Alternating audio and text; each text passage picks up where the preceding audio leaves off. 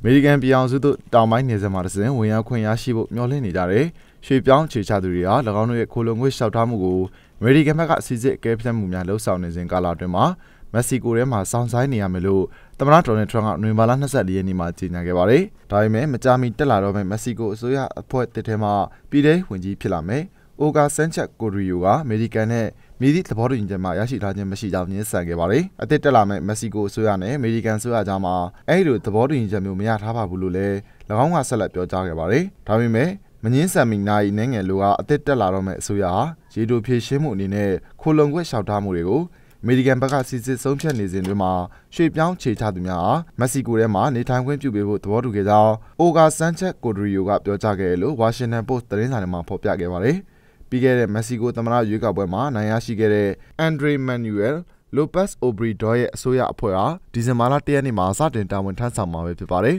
။ထရန့်ကအခုလိုကြေညာချက်ကိုနေဆက်ကိုရောက်ရှိနေကြတဲ့အချို့သောဒုက္ခသည်များကသတိရှိရှိဖြင့်ကြိုဆိုခဲ့ကြပါတယ်။ တောင်ပိုင်းနယ်စပ်ထဲမှာရှိနေတဲ့ရွှေပြောင်းခြေချသူတွေရဲ့ကိုလုံခွင့်လျှောက်ထားမှုတစ်ခုချင်းစီကိုတရားရုံးကခွင့်မပြုမီချိန်ထိသူတို့ကိုအမေရိကန်နဲ့ဝင်ခွင့်မပြုပါဘူးလို့ထရန့်က Twitter စာမျက်နှာပေါ်မှာရေးသားခဲ့ပါတယ်။အမေရိကန်ဟာနိုင်ငံထဲသို့ဥပဒေနည်းလမ်းတကျဝင်ရောက်လာမဲ့သူများကိုသာလက်ခံမယ်လို့ထရန့်ကဖြည့်ဆွတ်ပြောကြားခဲ့ပြီးတော့ရွှေပြောင်းခြေချသူအားလုံးကိုမက္ဆီကိုထဲမှာနေရမယ်လို့အလေးပေးပြောဆိုခဲ့တာပဲဖြစ်ပါတယ်။မက္ဆီကိုတွင်ဆက်ရှိရေးဟုအမည်ပေးထားတဲ့ထရန့်အစိုးရအဖွဲ့ရဲ့အစီအစဉ်ဟာ အသစ်တက်လာမယ့်မက္ဆီကိုအစိုးရရဲ့ထောက်ခံမှုကိုရရှိခဲ့ပြီးဖြစ်တယ်လို့ Washington Post မှာနိုဝင်ဘာလ24ရက်နေ့ကဖော်ပြခဲ့ပါတယ်။